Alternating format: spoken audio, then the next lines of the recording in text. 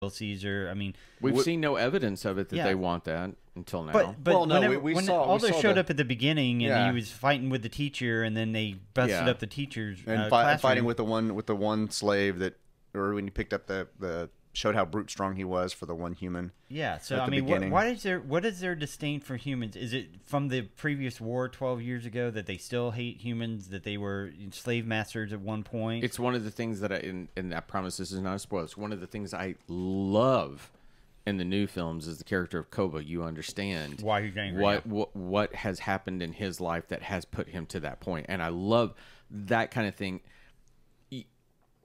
We go back to that these films were the first franchise that ever, uh, you know, according to lore, actually took their story and tried to evolve it every time. You had James Bond Right. that recycled it every time. It would have been so nice had they known that this is the path they'd gone in. And I am not begrudging this because this is unprecedented. They didn't know it.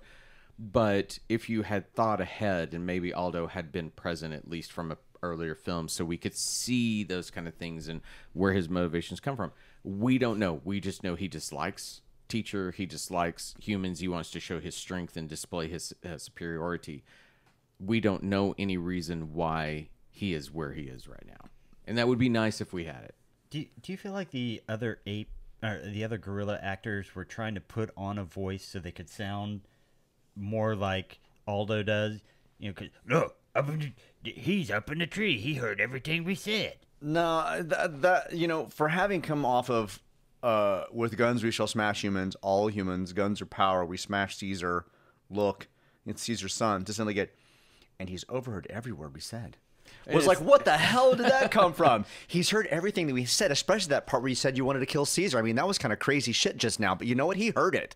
How Like, like, what know- was it? What was- they- wait, did he? If wait, they just now saw them him, how do they know he overheard every word it's they said? Caesar's son Yeah. was enough. Yeah. It's Yeah. Caesar's Aldo saying it's Caesar's son was enough to let us know that Cornelius had heard it and they know or, or they would be they'd be concerned about him having heard it. Well- we didn't need that entire sentence. And and I can't stand in films when they feel the need to 100% ham-fistedly go.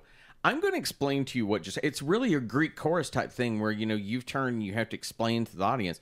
Instead, Aldo, we that's implied. He's heard it. He's Right. there. Mhm. He's close Right. enough. Aldo should turn at that point and say, "We're just," talk-" you know, he should almost try to quiet the child, calm the child. Yeah, because uh, come down as I pull out my fine, huge fucking knife. No harm will come to you. Right. it was it was it was a very unnecessary sentence that was a complete sentence after we just come off of Aldo grunting. Like we we've had we've had no sense that other gorillas can speak other than grunt. Like I mean, have we heard another gorilla actually give a sentence yet other than just grunts? Uh, maybe when they were chasing after the teacher uh, when he I got to remember. Caesar's place. Uh, Did we also notice that apparently Michael Keaton got his inspiration for the Batman turn from Aldo turning?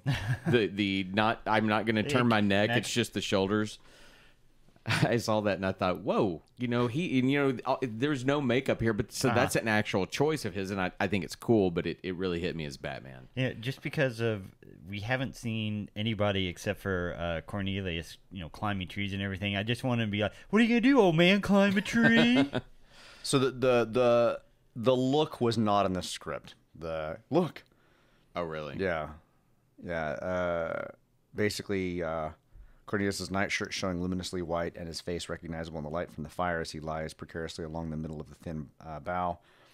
Aldo noticed freeze for a second, all staring at Cornelius as the camera pans, showing Gorilla's fear and angerment, uh, amazement and anger. Um, and then Aldo goes, "It's Caesar's son."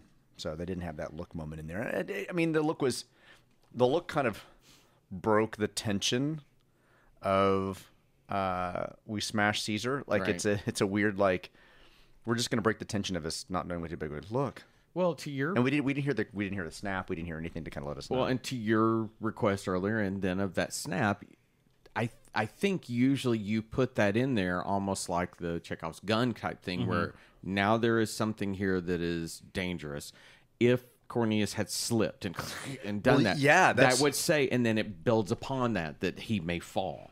The, the, you know the yeah the the it, it would have been a cool moment to have him actually fall into the fire and then run right back up the tree Yeah, and then like it's Caesar's son And then they know that he heard everything because he fell into the he fell into the scene itself. Right.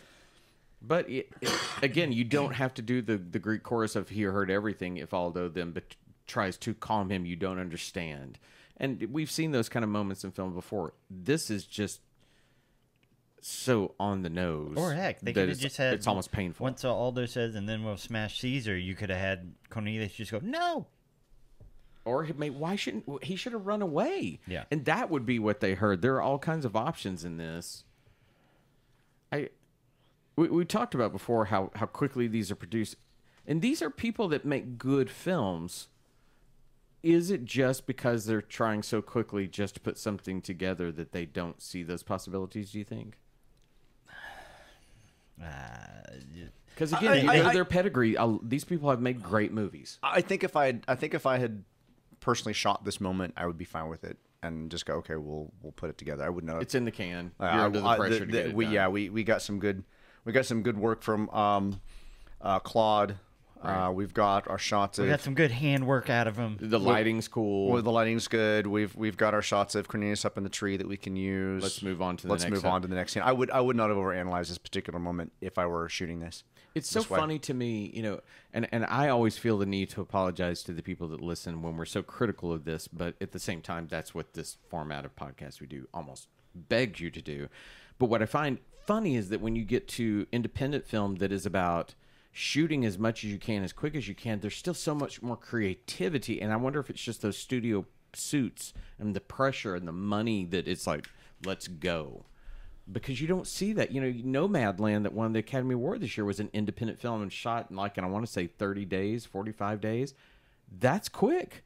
They didn't miss things like this. And I, I just wonder again when it, you'd remove the studio pressure from it, if that's part if, of it. If, if the, the stuff that we wanted to see in this scene um, would have actually come from the screenwriters, I think, in my point, they would have brought out more of They should have. where Aldo is going, Mm-hmm. how the other gorillas are not sure what to do and how to react to this moment.